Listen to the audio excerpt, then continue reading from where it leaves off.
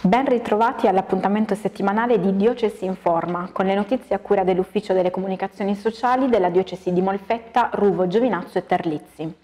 Venerdì 29 aprile secondo appuntamento di formazione per i docenti di religione cattolica, dalle ore 16.30 alle 18.30 presso l'Aula Magna dell'Istituto Superiore Monsignor Bello, sul tema orientamento sessuale e morale cristiana. Interverrà Don Aristide Fumagalli.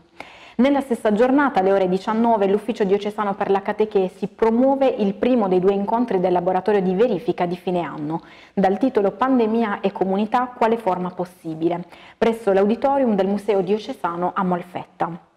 Sabato 30 aprile, terzo appuntamento del laboratorio diocesano dell'Ufficio delle Comunicazioni Sociali rivolto agli operatori parrocchiali per la cultura e la comunicazione con l'ingegner Riccardo Petricca, professore presso l'Istituto Teologico Leoniano di Anagni sul tema Ascoltarsi nella Chiesa, Sinodo e Comunicazione.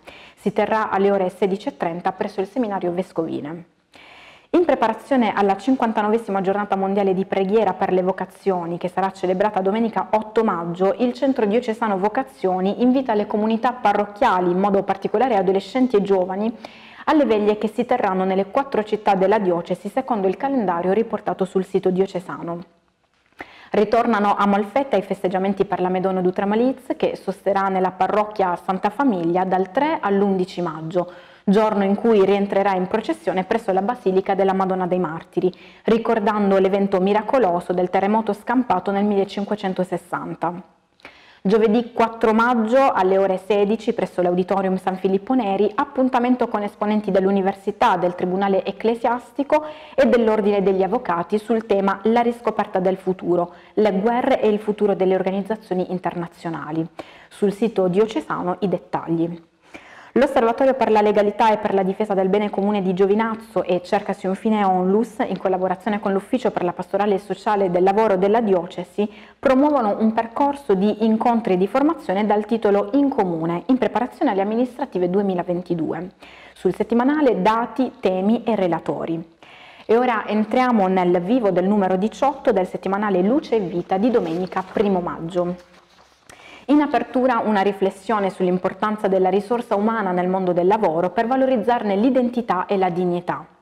A pagina 2 Roberta Carlucci riporta sollecitazioni e ricordi personali di Monsignor Domenico Battaglia, arcivescovo di Napoli, che ha presieduto la Santa Messa per il 29 anniversario del Dies Natalis di Don Tonino Bello, figura chiave nel suo ministero. A pagina 3 il resoconto del convegno dedicato alla venerabilità di Don Tonino, cui hanno partecipato i vescovi Monsignor Cornacchi e Monsignor Angiuli, il professor Ulderico Parente, il dottor Giancarlo Piccini e il direttore del settimanale Luigi Sparapano, per ribadire l'importanza di non fare solo memoria ma dare attuazione alle sue visioni profetiche. A pagina 4 riportiamo l'intervento dell'ACDA alla conclusione del convegno, i temi considerati prioritari, politica, giovani, ultimi, chiesa, pace. A pagina 5 l'Istituto delle Figlie di Maria Ausiliatrice compie 150 anni. A Ruvo la comunità è presente dal 1929 per l'intuizione della nobildonna Angela Fenicia.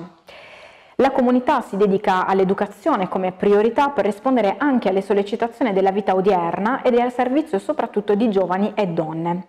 Sulla stessa pagina il programma degli eventi. A pagina 6, prima finestra sul Sinodo, attraverso una prima lettura di alcune delle relazioni prodotte dalle parrocchie a cura di Gaetano De Bari. Sulla stessa pagina la proposta di pellegrinaggio a Lourdes con i volontari dell'Unitalsi.